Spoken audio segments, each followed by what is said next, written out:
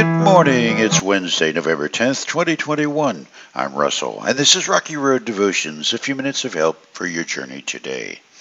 Our devotion today is entitled Oddballs and Late Bloomers, and our scripture is Psalm 113. Who can be compared with the Lord our God who is enthroned on high?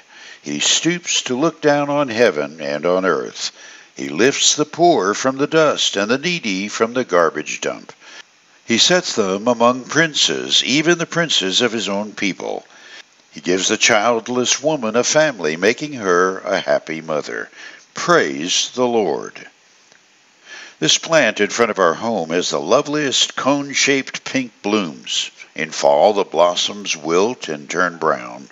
By winter, the plant disappears, and in spring, reemerges from the ground up. This year it decided to hang around with an attention getter. In early October, a single late pink bloom appeared in a sea of wilted brown. It's still there now after two nights of freezing temperatures. Our late bloomer is an oddball. In my thinking, God does a lot of that. He takes the ordinary and makes something quite marvelous. Poor, needy, barren, right off the garbage dump. The least of these our brethren are made fit company for princes. Late blooming oddballs are they. They are quite unexpected and a marvel. In our yard, there are plants I would have given odds would not last a season, and now they're huge, healthy, and beautiful. Others were very promising, but rotted in place and are now firewood.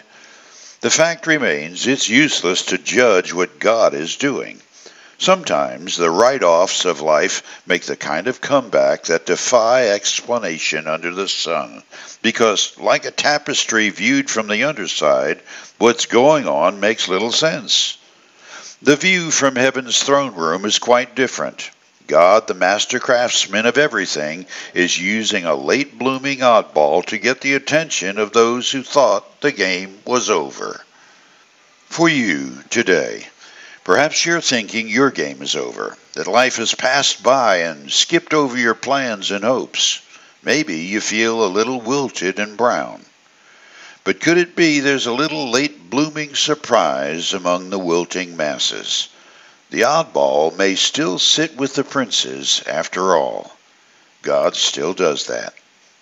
You chew on that as you hit the rocky road. Have a blessed day.